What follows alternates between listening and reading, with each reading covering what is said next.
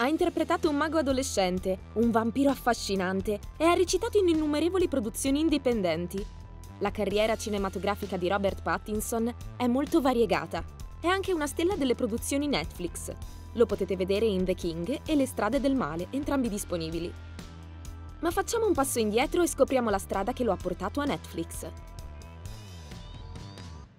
Torniamo nel 2004 e troviamo un giovane Pattinson nei suoi primissimi ruoli sullo schermo inclusa una parte secondaria in un film televisivo tedesco sulla saga dei Nibelunghi. Don't the old ways fascinate you? Credeteci o no, uno dei primi film di Pattinson non è mai riuscito ad arrivare al grande schermo. Ha recitato ne La fiera delle vanità al fianco di Reese Witherspoon, nel ruolo di suo figlio. She's here to claim me as her own. You are her own.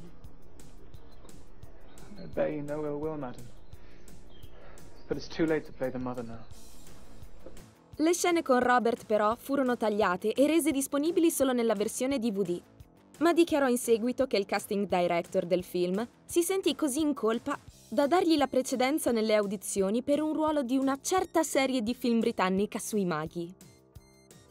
The Hogwarts champion, Cedric Diggory! Yeah!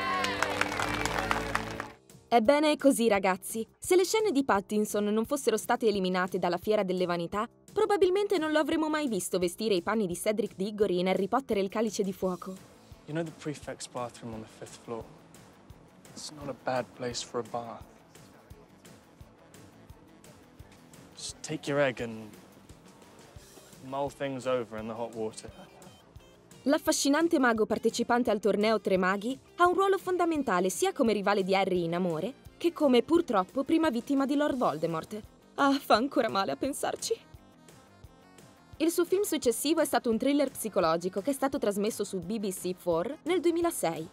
Robert era un tenente della RAF paralizzato durante la Seconda Guerra Mondiale e costretto a passare la degenza in uno spaventoso ospedale nella campagna gallese. Chiaramente le cose iniziano a scivolare di mano. Nel 2007 accetta un ruolo completamente differente nel manuale della cattiva madre. Nel film televisivo Pattinson interpreta un geek con una cotta per una ragazza incinta. Might feel queasy, very hungry, might even feel quite um, sexually aroused. Where's he looking? Tell me. Il 2008 è stato l'anno della svolta per Pattinson. Ha prima interpretato un ventenne con una crisi di identità nel comedy drama Come solo tu sei. This is uh, Dr. Ellington. He's gonna make me be more normal. Very, very famous, very, very successful. E poi il ruolo dell'artista surrealista spagnolo Salvador Dalí in Little Ashes. Morality, immorality, good, bad. We have to smash that to pieces. Ma è stato il suo ultimo ruolo nel 2008 a renderlo una star di Hollywood nel giro di una notte. I know what you are. Say it. Out loud.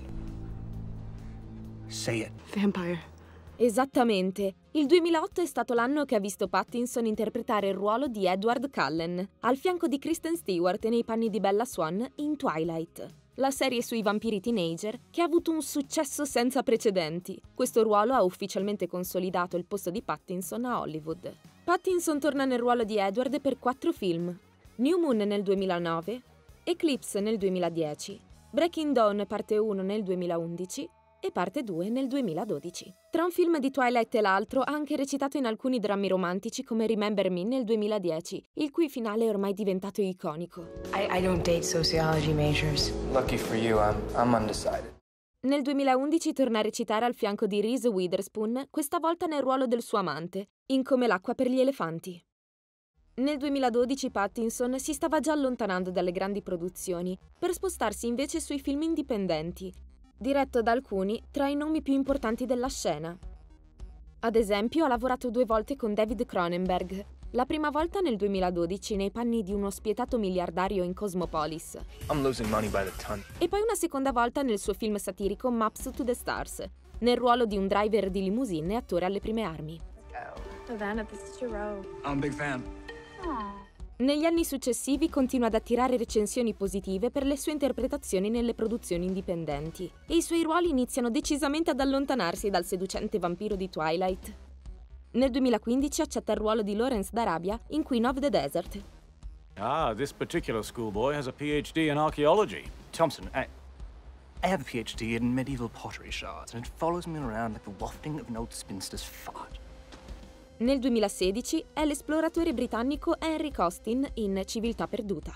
E poi la sua performance del 2017 in Good Time, dove interpreta un rapinatore di una banca che cerca di liberare il suo fratello disabile da Rikers Island dopo un colpo andato male. Tra l'altro lo trovate in catalogo su You're Netflix. fucking incredible. You're incredible. Do you understand?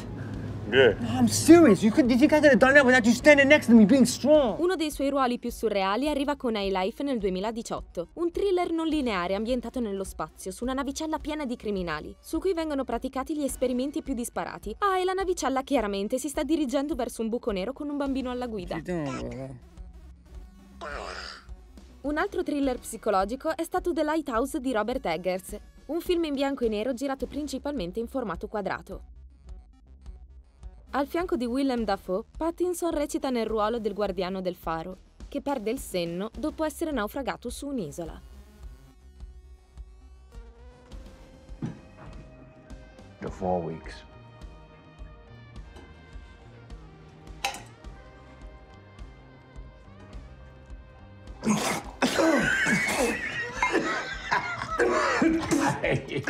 Nello stesso anno, Pattinson sbarca su Netflix con The King, nel ruolo del degenerato re delfino di Francia, con delle battute davvero indimenticabili. I mean, no, your balls must be big, no?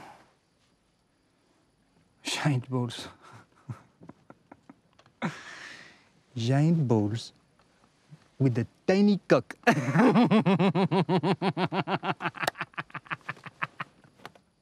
E adesso siamo arrivati al 2020, anno che vede il ritorno di Pattinson alle grandi produzioni, come l'intricatissimo Tenet di Christopher Nolan. Well, I've seen too much. Nel frattempo è sul set nel ruolo di Batman, con uscita nelle sale programmata per il 2021. Ma il 2020 è anche l'anno in cui Pattinson torna su Netflix con Le strade del male, un adattamento del romanzo di Donald Ray Pollock. Il suo ruolo è quello di un prete diabolico e poco convenzionale.